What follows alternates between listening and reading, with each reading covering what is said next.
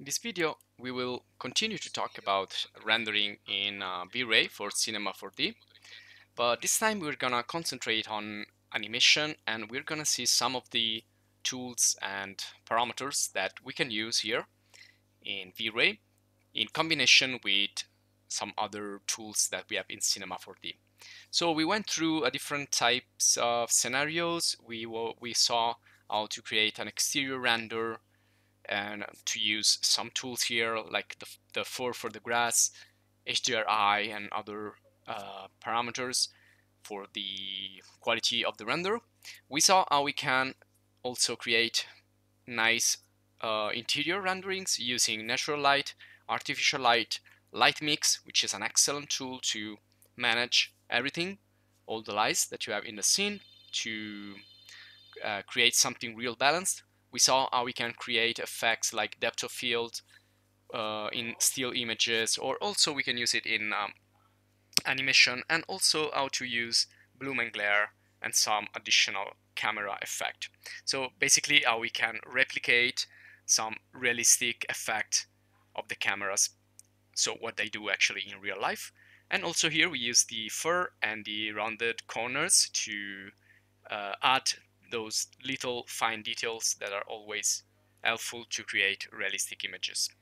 And here uh, we in the previous video we talked also about the motion blur and the animation. So we're gonna get back to this topic. We're gonna add some more information and then we will proceed with environmental effects which can be used also for some advanced uh, animation and video effects. So right here we, we are seeing the motion blur effect in action. So this is a camera, it's all about camera settings, just like the depth of field.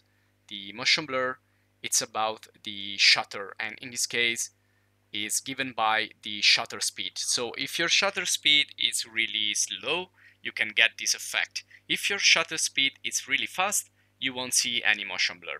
So the first thing you need to do is to fix the parameters in your camera, in the in your physical camera, tag in uh, Cinema 4D, or the other option to create this effect for animation is to bypass the camera. So right now you can see that I am outside the camera that I have created because the aim is not white. So here I can set everything up from the camera properties or I can go into the overrides in the render settings. So in the in the other videos we used HDRI and we we had kind of nice reflections in materials in reflecting materials using that and the dome light as well with the HDRI. So we will leave this uh, setting here but let's go here and check the V-Ray overrides again. This is where actually we changed also the environment override to override the dome light. Now just in a similar way we can override cameras. So we can use cameras and physical uh, camera of V-Ray or instead we can also use here the camera override. You can see I can activate the motion blur which is gonna and the depth of field which is gonna add the blur um, based on the distance as we saw in another video using the physical V-Ray camera tag or we can again activate motion blur so you either use it in the camera by adding the V-Ray physical camera tag or you can adjust and manage the effects from here and this is gonna override the camera, the standard Cinema 4D camera. Now remember that if you want to have the motion blur also moving the camera, you need to activate camera motion blur. So the standard motion blur, it's only for the objects. The camera motion blur, it's also for the cameras. And you also have a bunch of parameters here, which I'm not gonna go through, but you can check them in the uh, manual as usual. So if you want to have more information, know a little bit more about these parameters and what they do. They just work on the motion blur effect. They're gonna adjust it a little bit. And I think that the most important parameter is duration. Now make sure it's not at zero or at 10 because it's not gonna be good. so try to leave it to one or two frames but you can run some render tests using the interactive rendering and you can define a little bit better the effect and it's it's like using depth of field and all the other parameters. Now here we can override geometry as well like the displacement. If we want to use the displacement or not we can decide it from here. Also the lights if you want to use or disable for example self-illumination or uh, set a limit for the number of lights. And also for materials here we can enable and disable some of the effects or like the most uh, heavy effects like the subsurface scattering or others as you see, here. And also here we have other parameters for the textures for the rendering and we saw previously how we can manage the environment.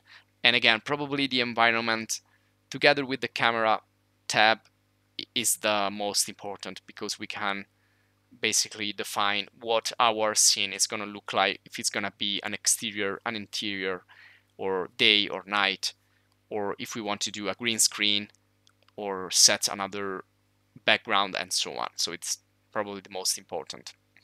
Now we still we're still gonna be here in the overrides tab because if we go uh, well let's see here. Yes so we are using right now the HDR I'm gonna leave this that we used in the previous video I'm not gonna change it but we're gonna go here to the last tab which is the volumetrics and I'm going to enable the volumetrics volumetrics are really nice effects that we can use for still images, we can use for animation. Uh, they can be helpful to create some really cool effects, some really, uh, let's say, kind of movie effects or scenographic effects. And I'm gonna show you how you can use it in exteriors and also later in interiors. Now, if we go here, you can see that we have a volume grid and an environment fog. Now the volume grid is for effects like fire or smoke and you can get those from other software basically and you can load them up here in uh, V-Ray. The environment fog instead we can work with that right here directly in V-Ray. So just to show you some examples here of environment fog I'm gonna go into the web and associated with the volumetric fog we also have the effect called volumetric light, which is going to generate these nice, um, let's say, beams of light. So it's kind of, the beam of the light is going to be visible, um, more visible than the average because it's like we are in a really smoky room or in a fog situation or mist situation. So when we use lights in a situation like that, the, the light is going to be more visible. And again, you have many examples here. You can see here how, how the street lights are looking and all the other lights. Now this is a really simple rendering, but it's uh, helpful to uh, show you what we're talking about. So you can see there is this kind of mist or fog or smoke effect and those lights there that are gonna appear uh, more visible than usual. So let's start here with the environment fog.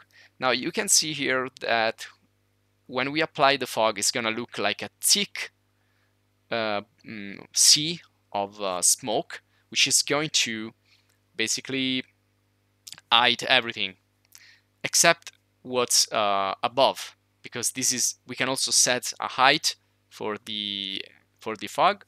So let's select the environment fog object and let's go down here and let's start to change some parameters.